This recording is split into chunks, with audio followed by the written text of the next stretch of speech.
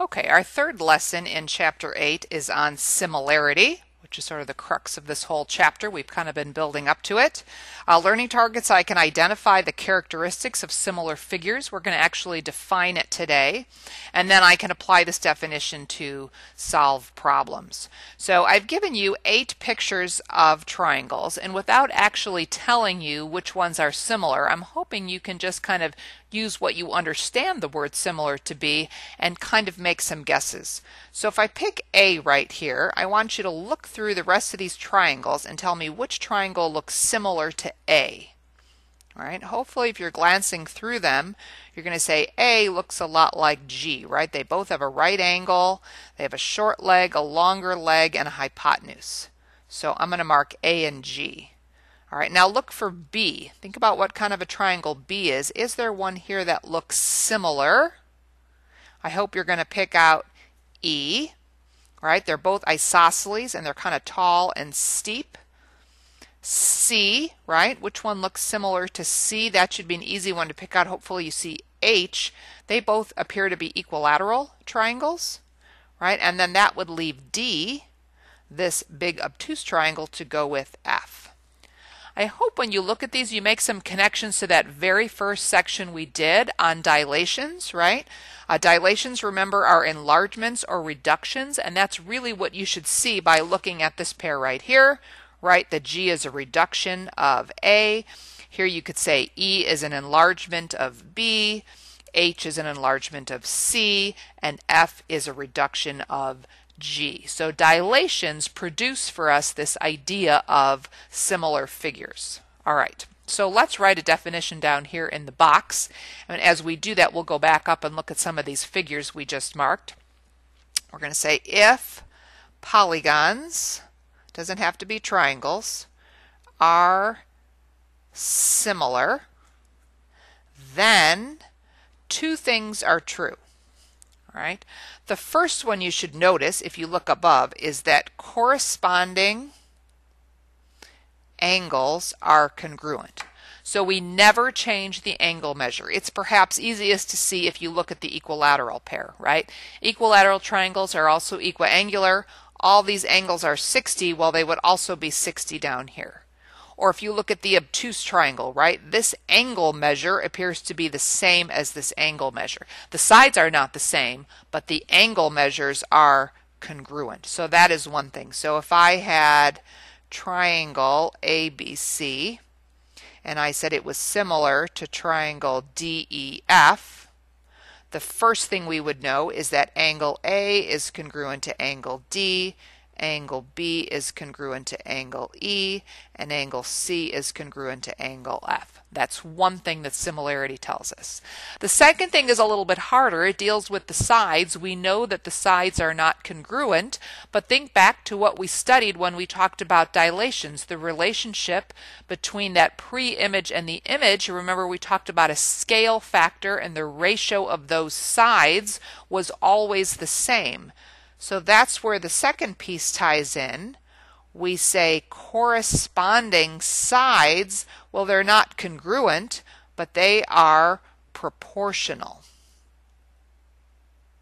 Proportional. Those ratios are the same, and in fact, we know from dilations they produce that scale factor.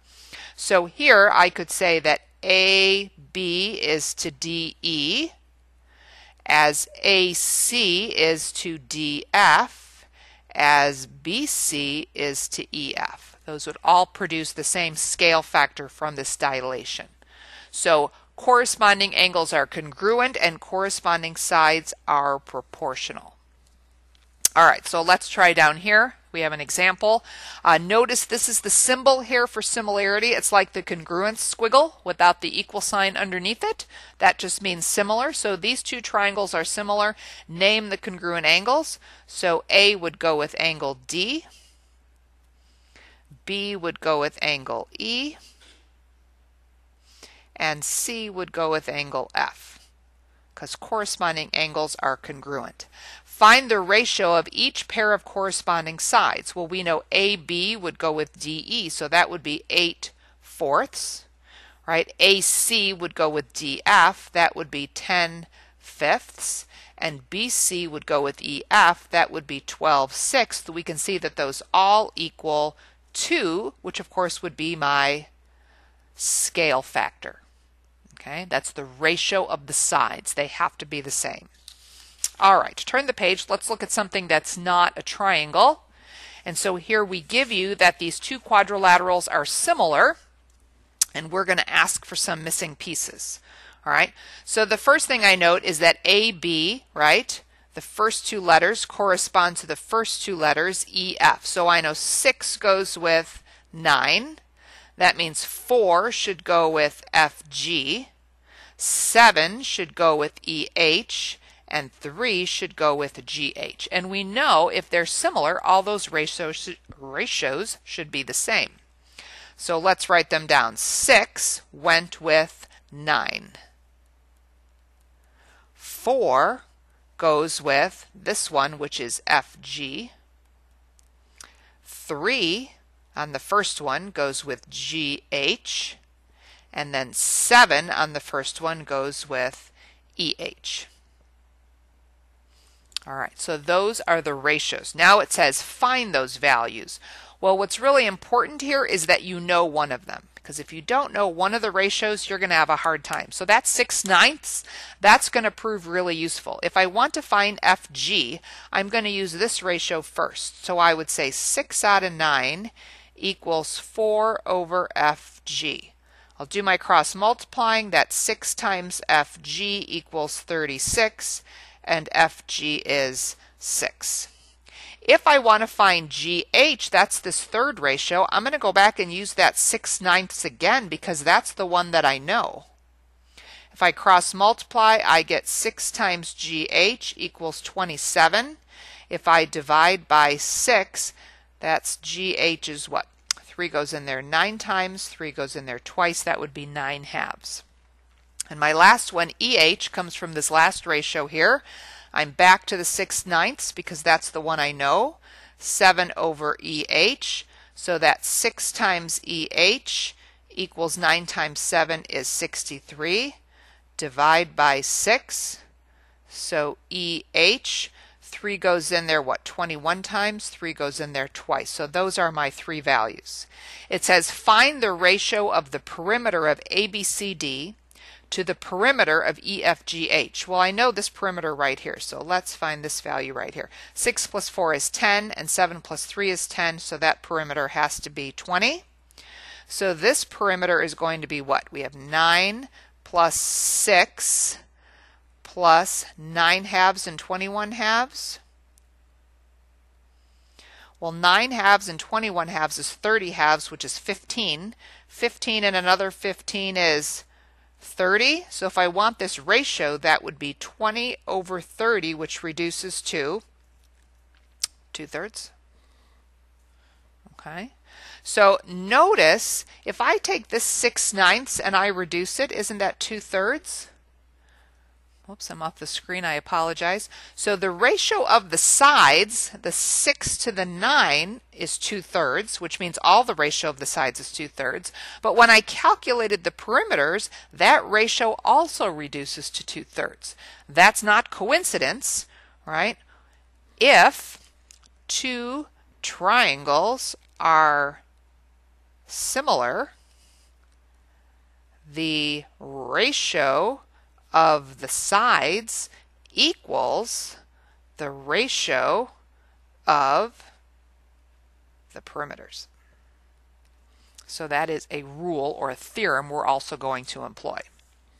All right, so let's use these things. Let's remember to keep in mind similarity, corresponding angles congruent, corresponding sides proportional. Notice in this first example, all the information is about angles. So I'm going to hook up the corresponding angles. J is the first letter. It must go with P. So those are congruent. H is in the middle. O is in the middle. And then K goes with M. All right, now what do I know? J is 40. I don't have any information about angle P. H is 90. O is 1 half Y. K is do I not have K here? K is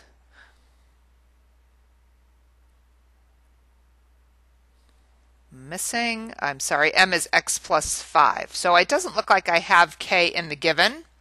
I think I can probably find K though, right? If I mark these, if I draw you a picture here, and I have J, H, K, and I have P, O, M, now think about it. h is 90, so that means o has to be 90. j is 40, so that means P has to be 40. So now if 90 plus 40 is 130, doesn't that mean K has to be 50? So that's how I get value K. I knew we could get that somehow. Or also for that example, then M would be 50. So now we're just finding X and Y, so I solve. To solve this, I would multiply both sides by 2, so Y would be 180. And here I would just subtract 5, so x would be 45. So those would be my two values. So don't forget to use old things like sum of the angles in a triangle is 180.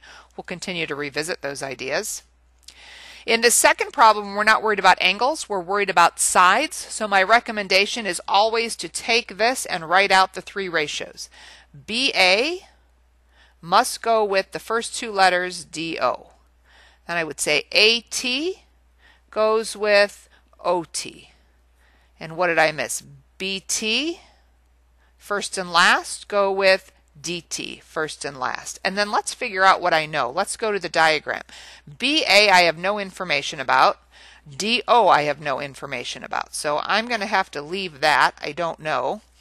AT in the figure is X plus another 15. So I'm going to call that X plus 15. OT is just the 15.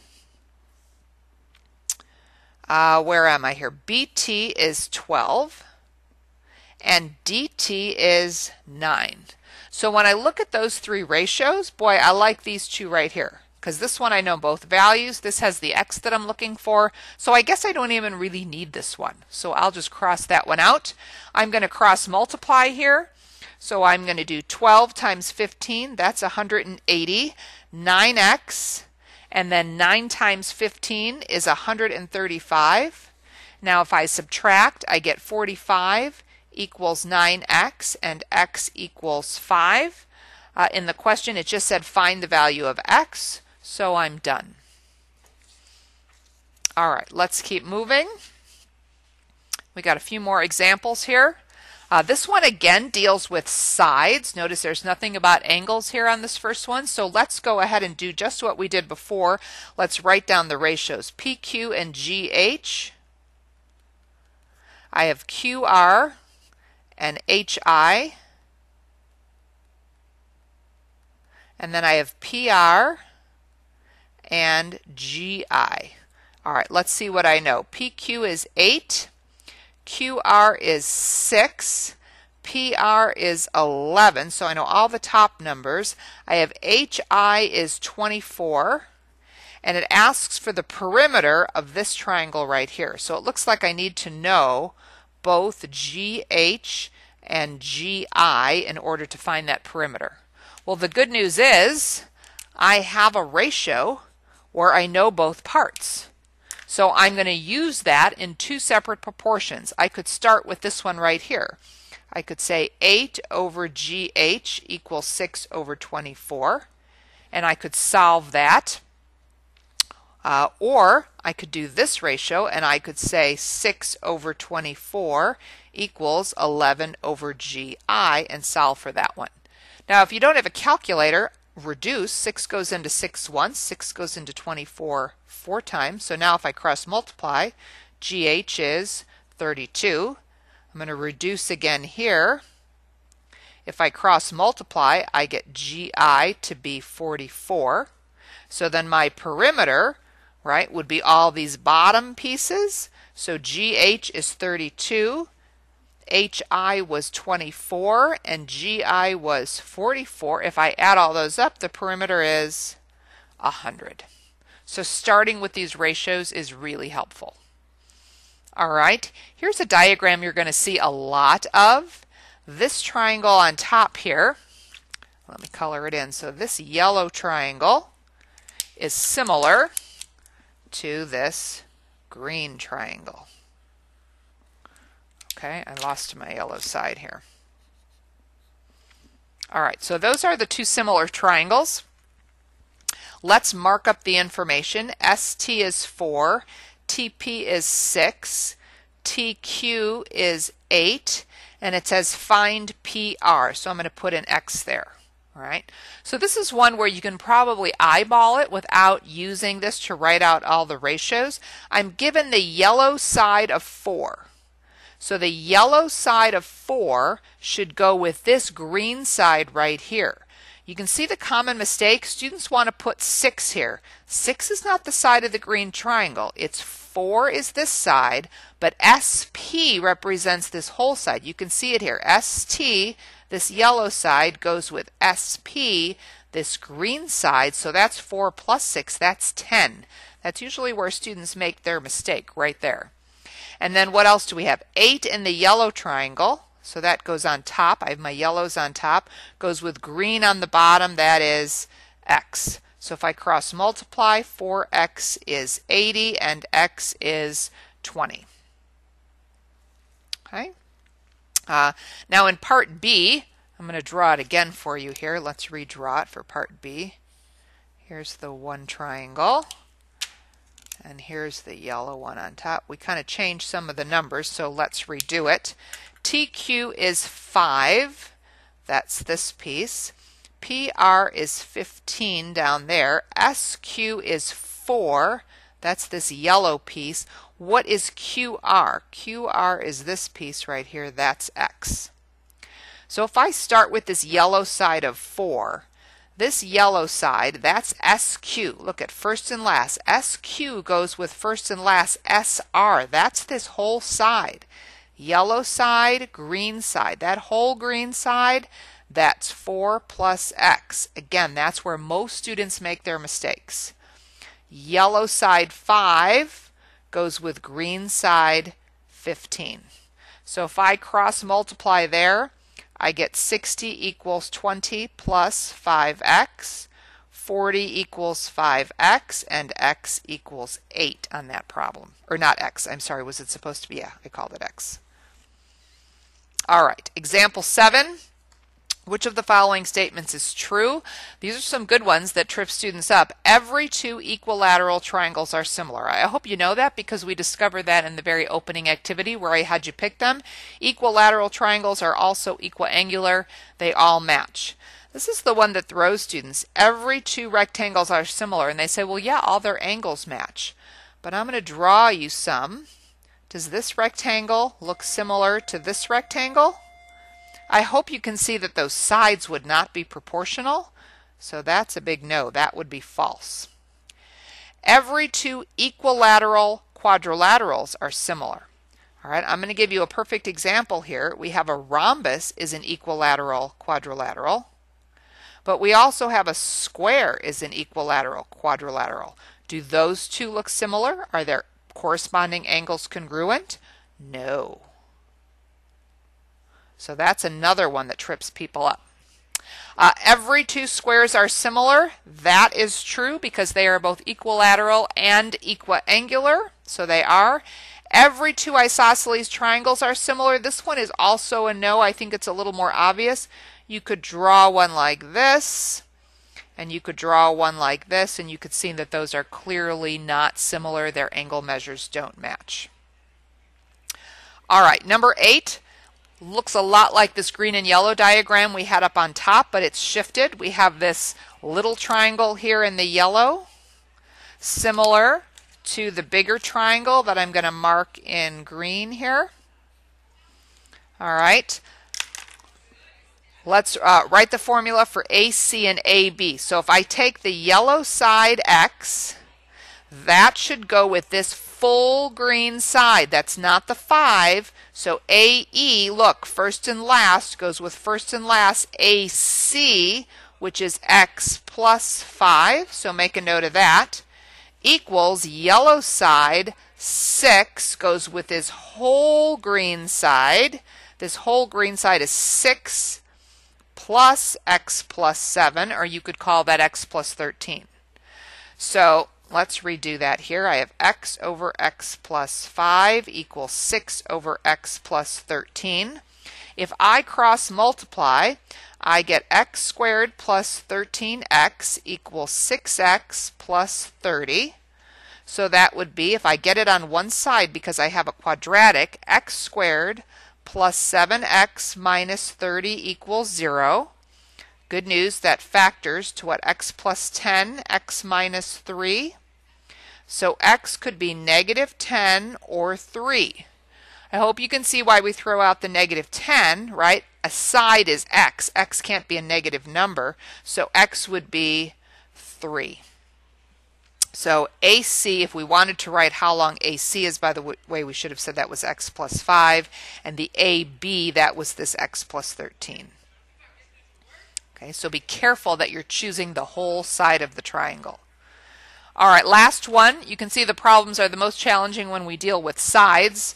Let's mark this up. RT is 12, TQ is 3, RP is 8 more than RS. So if I call RS X, RP is 8 more. So I think that would mean this piece would have to be 8 because this whole piece would be X plus 8. All right, so let's do ratios. RS goes with RQ. ST goes with QP. And RT goes with RP. All right, so if I fill in what I know, uh, RS, that's X. RQ, RQ, that's 12 plus 3, that's 15. ST, I don't know. QP, I don't know.